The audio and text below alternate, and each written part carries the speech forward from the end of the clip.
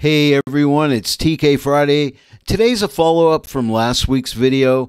This one's called Masking and Modifying on the Fly. You're going to learn some new techniques today. You don't want to miss this one, so stay tuned.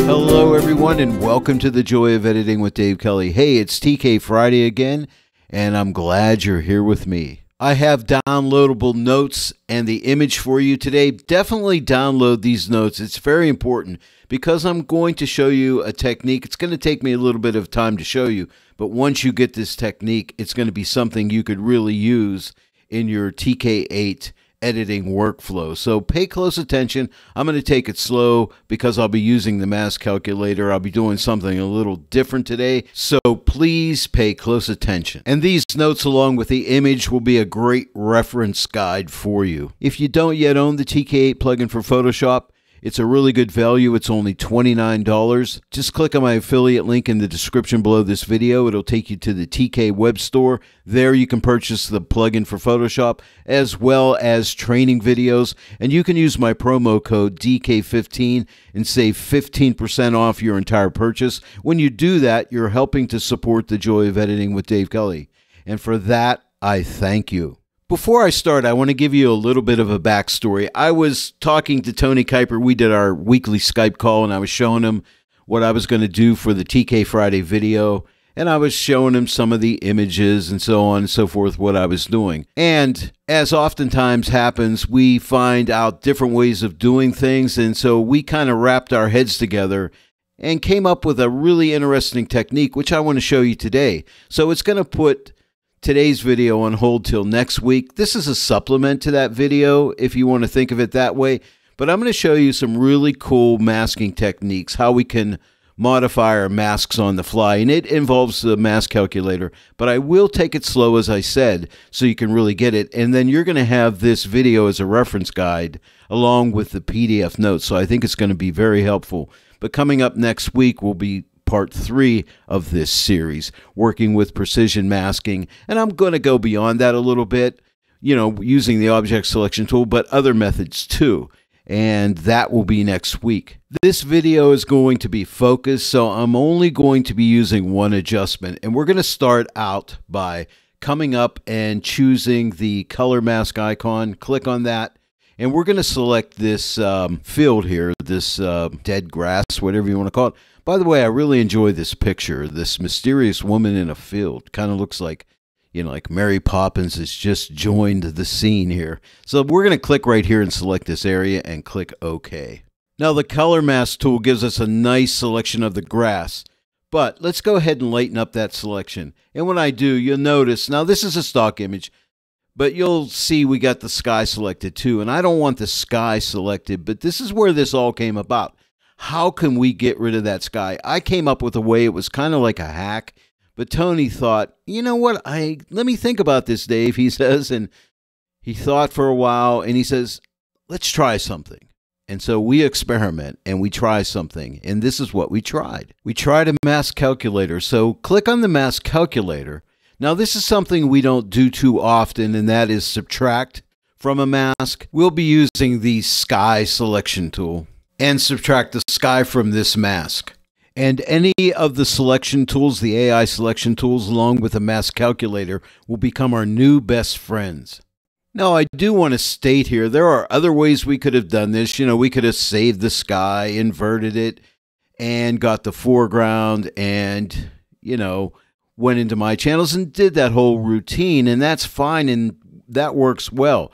But sometimes, you know, you're working on the fly and you're modifying a mask on the fly. And that's why this video is called Masking and Modifying on the Fly, because sometimes you don't think ahead and you're in the middle of making a mask and you can use your head and think, well, there are other ways we can go about this. So let's think about it.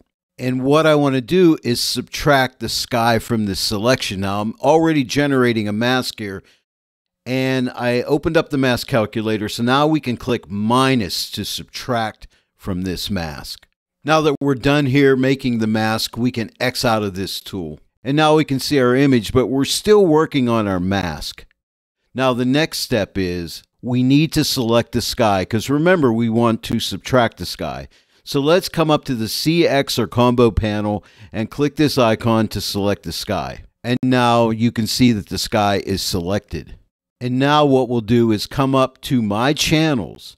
We're going to click on this, but notice the mask calculator here. See, we're still working on our mask. So click on my channels and you want to click on the active selection. That's this selection right here, which is the active selection. So let's click on it. And there we can see the sky is selected. Now you would think that I could go ahead and click equals here and that would subtract that sky. And it will. But we can still do other things. We can still work on this mask. And what I want to do next is tighten up this horizon area where the sky meets the foreground. And again, we're still creating a mask, so I can use any of these tools along here that I want to. And I'm going to use a levels adjustment. So click on the levels adjustment. And I'm going to take the highlight slider and just bump it into the left a little bit just to tighten things up. You don't want to go too tight. You want to maintain some detail there, some nice feathering. So I'm going to bring this in to right about here, and I'll take the shadow slider and we'll tighten up the shadows a little bit. I'll just bring this in. You know, again, I could go too far and that would not be good. But I just want to come in just a little wee bit just to tighten things up and right there. And now we can make our calculation. All we need to do is click equals. And now notice that the sky has been subtracted from the foreground. And that was exciting when we discovered this the other day, how this was going to work. We can use sky selections, we can use subject selections, we can use the object selection tool and work with the mask calculator. That's what I mean by the object selection tool, as well as the sky and subject selections are becoming our new best friends when we have the mask calculator to join forces. Now we're still in the process of making the mask, so again, all these tools right up here in gray can be used.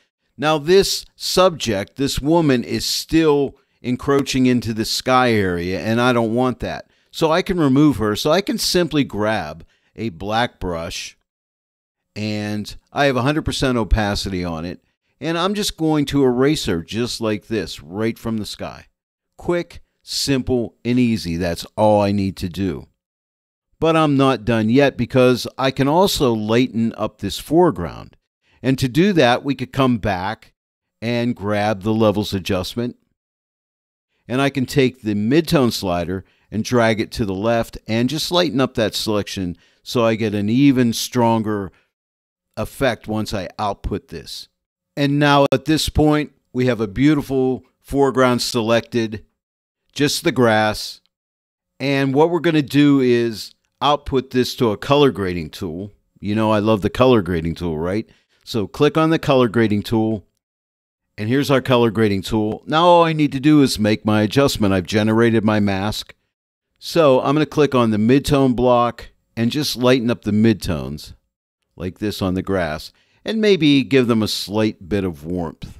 Just warm them up just a little wee bit. And then I'll go to my shadow block and just slightly darken the shadows, just a tiny wee bit, something like that. Now here is the before and here is the after. Now that was scenario one, but I think that's pretty amazing. Hey, don't forget to like, share, and subscribe. That's very important. It helps my channel to grow, and when you do that, I appreciate it. And also, please leave comments and questions. That's very important. I really want to hear from you guys because we get new ideas on how to make new videos when you guys comment and leave suggestions, and you have your own techniques that you use too, which is really cool. So please comment and ask questions as well. Now let's move on to scenario two. We're going to make the same adjustment but it's going to be a little different this time. And what I mean by that is in the mask generation. Now, the first part of the mask generation will be exactly the same, so I'll be going over that a second time, which should help cement this idea how to remove that sky. But then we want to add the girl into the uh, selection. So, what if we wanted to have some effect on her as well? So, that's what we're going to do next with scenario number two. Oh, by the way, I want to point out, see this duplicate image button right here on the CX or combo panel? If you click it, it'll duplicate that image. I'm going to make this a little bit larger because what I want to do is I want to keep this image with that adjustment, But now I'm going to this image, and what I want to do here is start from scratch. So to do that, I could come up and click on this trash can and remove that. And now we can start from scratch. But don't forget about that duplicate image button. It's good if you get an edit so far, and then you want to go ahead and experiment from that point on, but maintain what you previously have done. I'll start out by Xing out of this color grading tool so we get back to the multi-mask panel.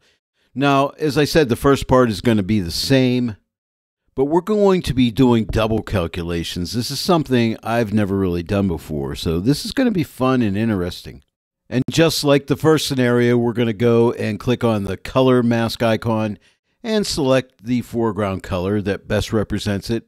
And of course, we want to lighten up that mask like this. And we do still want to get rid of the sky. We're going to need the mask calculator, so click on the mask calculator. Now we want to subtract the sky, so click the minus to subtract the sky. Now we need to X out of here, so click this X.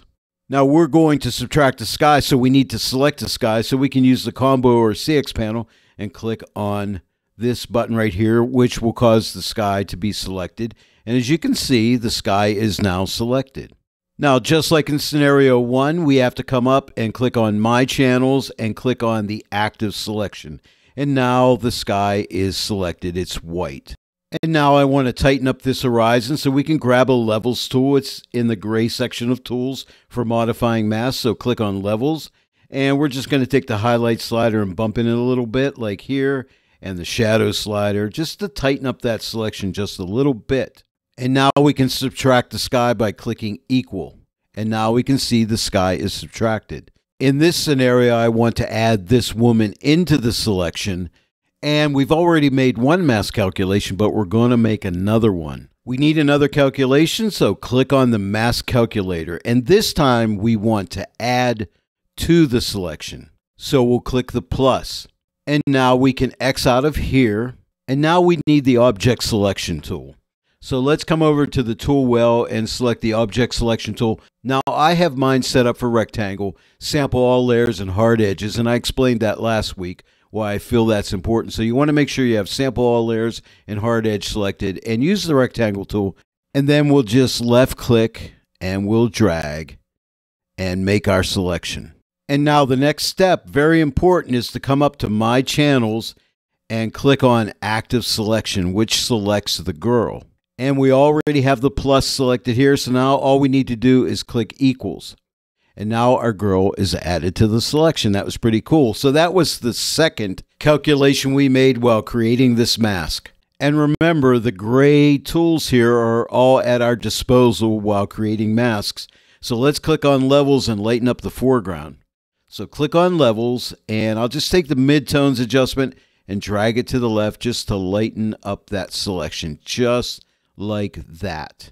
Now, just to recap, we were able to use the sky selection plus the object selection tool, all thanks to that mask calculator. We were able to utilize those two different selection methods. And now that our mask is created, we need to output it. We're going to output it again to a color grading tool. I'm going to click on the midtone block. Now, this time, not only will this field get adjusted, but also the woman with it because she is now part of that selection. And remember, she's all white, so she'll take a stronger effect. So let's click on, well, I already did it, the midtone block, and we'll adjust it to the right here, and we'll just lighten up the grass. And you can see she's getting lit up too, which lights her face up a little bit, and I like that. And we could just add just a little bit of warmth to this selection right here like that. And I'm going to click on the shadow block and just darken up the shadows, maybe to right about there. Now, here is the before and here is the after. But wasn't that interesting how we could use the object selection tool, the sky selection tool, all with the help of the mask calculator when generating or creating our mask. Now, just as a finishing touch, I think this sky looks a little too dark in this image, so I just want to lighten it up a bit. Just come up to the CX or combo panel and click on sky selection and that selects the sky. And all I want to do is, let me exile this color grading tool, add it to a curves adjustment layer. I'm not going to make an adjustment. Change it to the screen blend mode. And now we can see the sky has gotten a lot lighter. And it's way too light. And there's our mask that was generated. And we'll just take the opacity and take it the whole way off. And then I'll just slowly adjust this to the right just to lighten it up, just to bring it into balance right around there, like 24%. Here's the before and here's the after. But there you go. Just one simple adjustment in that grass field today, but you learned a lot of information here, which you can use on any image that you're working on. And now you know how to do some masking and modifying on the fly. I hope you enjoyed this tutorial today. Well, there it is, everyone, masking and modifying on the fly. If you enjoyed the tutorial today, please give it a like and share it with your friends. And if you haven't yet subscribed to this channel, please subscribe and click that bell notification icon. Every time I upload a new tutorial, you'll get a notification about it. I want to thank each and every one of you for joining me today in the joy of editing with Dave Kelly, and I'll see you all right here next time. But until then, happy editing!